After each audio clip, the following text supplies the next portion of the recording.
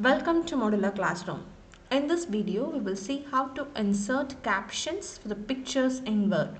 In the previous video, we, we, saw how to fill the shape with pictures.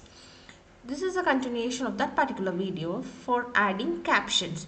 Now we will see how to do that. Just go to that same Word document, choose the picture that you need and just right click, choose this insert caption option and choose new label.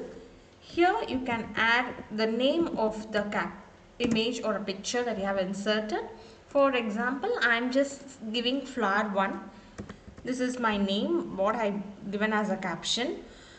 Like a normal text, you can do the formatting option like uh, highlighting the text of the font of that particular text, changing the color, anything you can do as a normal text.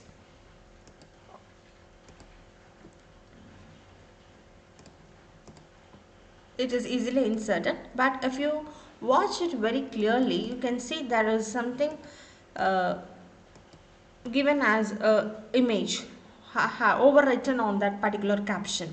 For that again choose this particular uh, caption uh, box and go to the shape format and click on no fill. Now you can easily see it is like a normal text.